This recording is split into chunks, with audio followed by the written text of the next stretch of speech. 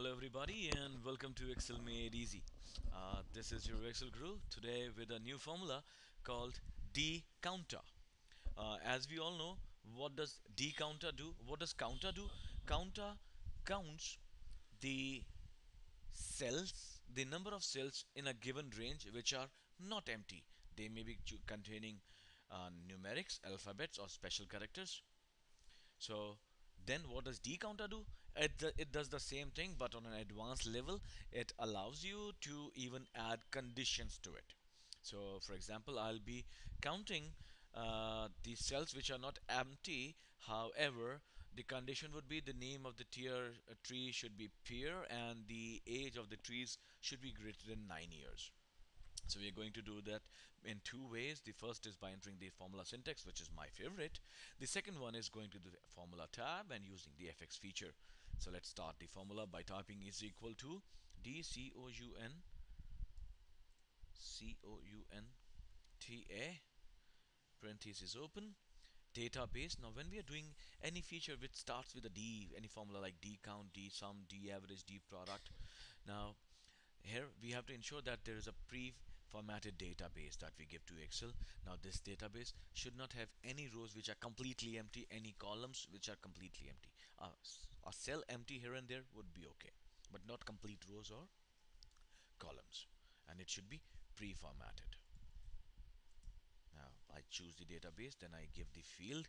The field can be any any any header on the column name.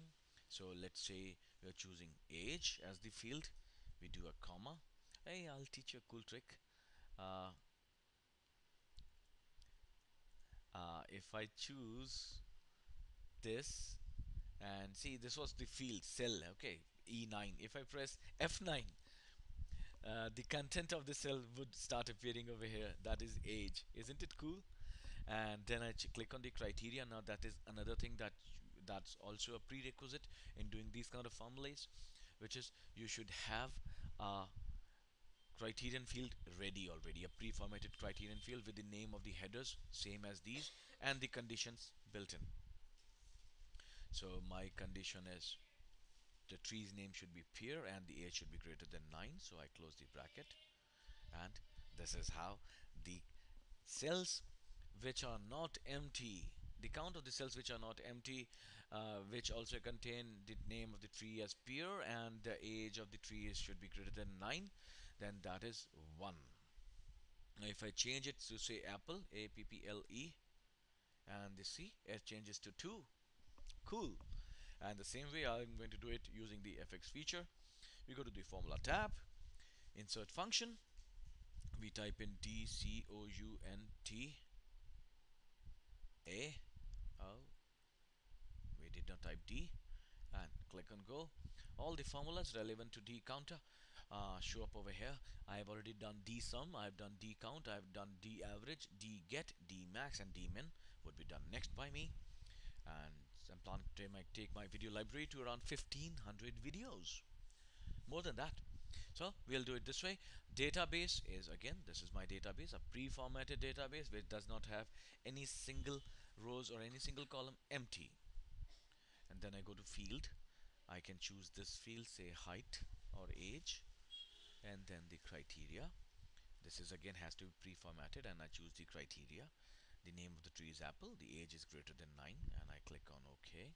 And this is the answer. Isn't it cool? Wonderful feature of Excel. Excel is lovely.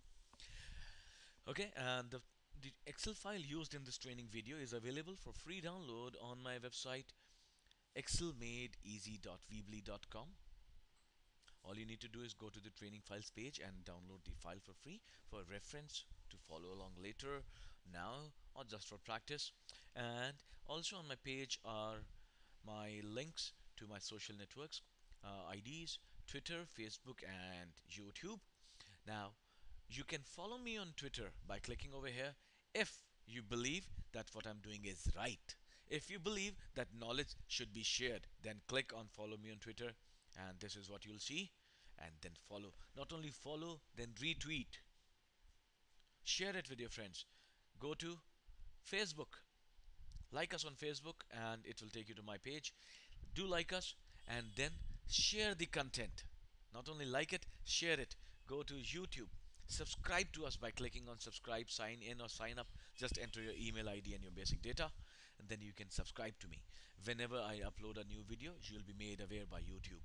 Most important subscribe and also share the data. Share the videos with your friends on these networks. It's so very simple. So this is your excel guru signing off for the day. Have a wonderful day ahead. Happy excel learning